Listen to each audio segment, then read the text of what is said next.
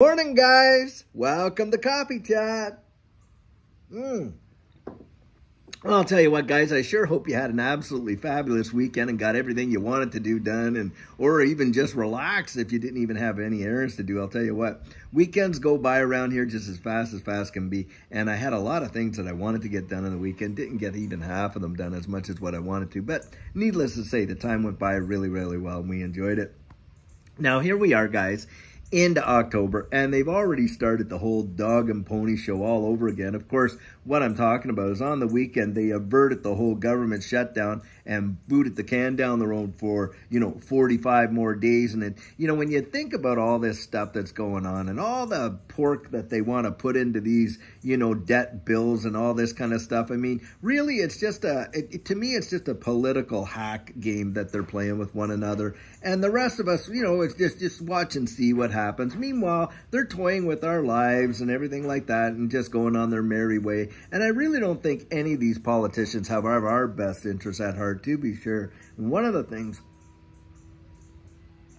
that really kind of makes you upset is while they're doing all this kind of like gong show stuff over here, you know, on uh, up on the hill and stuff like that, you know, there's a lot of us down here in the workaday world that are really just struggling along, struggling along. And these guys are just exasperating the problem. And it just, it's, and, and within impunity, and they don't seem to really care, you know, that kind of thing. And no wonder you get a big flash, you know, song out there like, you know, Rich Men, north of Richmond kind of thing, because that's exactly what's going on. These guys don't give two hoots about you and I or what the rank and file are feeling. Now, I read an article this morning that was just as eye-opening as possibly could be, and I was talking about how 99% of U.S. counties and 99% of U.S. counties home ownership has practically become so un absolutely unaffordable for the average person. And when you're looking around at houses and things like that, and you're thinking on taking a mortgage, you know, they're going to have to bump these mortgages out to like, what, 35,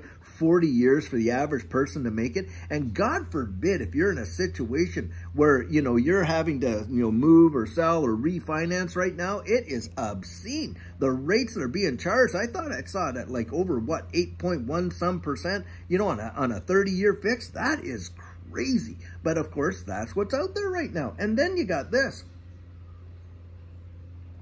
people that are in their homes, right? and are not going to be selling because who wants to sell an environment where you're maybe you locked in at like two, three, four percent, something like that. Who wants to be selling their house to move into another place or or whatever in order to you know just take on a new mortgage at like eight and some? It's not going to happen, and so you're going to see a lot of this stuff, you know, just kind of hit you know, these peaks. And I do believe that we are going to see a housing correction in a big way. A lot of these properties are just going to drop like crazy because people can't qualify for the mortgage, number one. You know, you get a flood of inventory out there, you know, and that type of thing. And then, of course, you know, it's a supply and demand issue and what, what, what.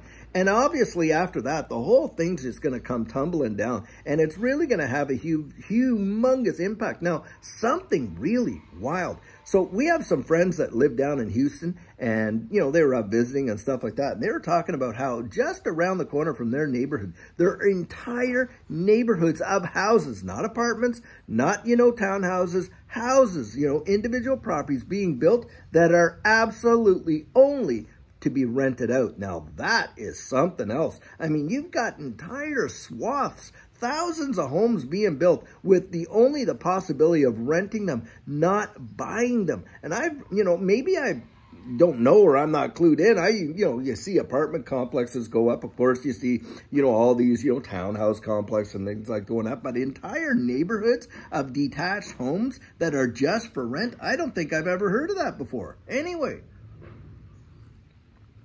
that seems to go right in line with their whole by 2030 you're going to own nothing and be happy kind of deal because all these big big conglomerate corporations are going up there and they're just buying up all these swaths of property and land and houses and everything else and making it so that hey the average person, you know, obviously can't compete, number one, but number two, isn't going to be able to go out there and get a home of their own. And isn't that the American dream, or wasn't that the American dream, so that you could get your piece of the American pie and your white picket fence and the whole thing? The whole bunch of baloney has turned out to be an American nightmare. To be sure. And look at what's going on with interest rates. Man, I'll tell you what, with balances on credit cards and everything else that we're seeing and these interest rates just going wild, it is literally insane. And in fact, what we're watching right now is a lot of people are getting to those maximums, can't even make their minimum payments, and we're seeing insolvencies and bankruptcy applications just go through the total roof. Yet, meanwhile, you know, the government's out there quibbling over this and quibbling over that rather than taking care of the absolute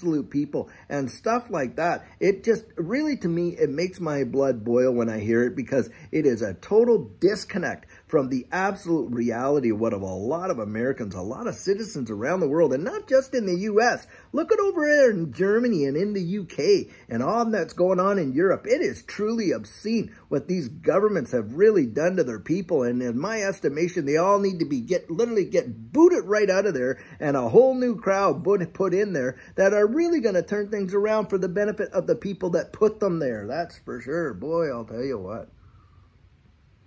And it's hard to come out and be all kind of happy, hokey-dory with the way in which the economy is. And when I do these coffee chats, look, I try to bring out stuff that real people are really dealing with or living with and stuff like that. And I'd love to be able to come out here and say, wow, guys, look at all the great news. Da, da, da, da. I'm telling you, almost every news story, you check them for yourself. Look at the titles of the news stories that come out. I mean, they are just abysmal. And the problem with that is this. You kind of put a narrative out there constant like that and everything like that that. Eventually, what are they doing? They're they're conditioning people to accept all of this malarkey and this when we don't really have to. Things can be turned around. Things can be changed. And that's why I'm really encouraging folks all the time. Get out there. Get your voices heard and let people know what you think. I'll tell you what. Hey, I want to hear what you have to say. Drop your comments right down there in the comment section. If you're a person out there that's being impacted by the way in which this housing market is going, I'd really like to hear it because that is the best source of information that any of us get is people really that are going through it, that are experiencing it. Look, if you're just out there in the market and you're looking to buy your first home or you're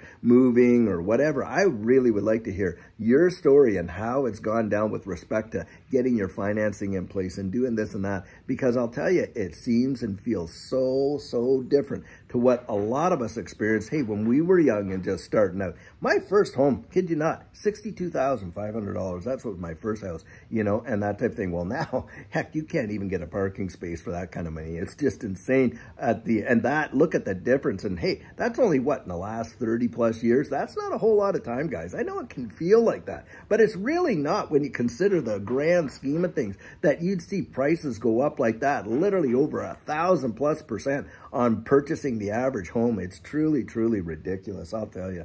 Anyway, we got lots going on this week, to be sure. It's going to be interesting to watch all this unfold. Now, October, I'm pretty sure we're going to see some really interesting stuff this month. And I'll tell you what, I'm going to be keeping my ear right to the ground. And if I hear anything that tweaks that we're going somewhere in any direction, I'm going to be out here letting you know, to be sure. But I'll tell you guys, it, you know, you just got to have nerves of steel, know where you're going, know what you hold, and really stick to your plan. That is exactly what Judy and I are doing, and I sure hope you're doing the same thing and not buying in to all this FUD, not buying into all the narrative. You really charting your own course, doing what's right for you and your family, to be sure. Anyway, I hope you're having a fantastic Monday. And until later on today, like always, we have an amazing video planned for you, and I sure hope you have a great one, and take care.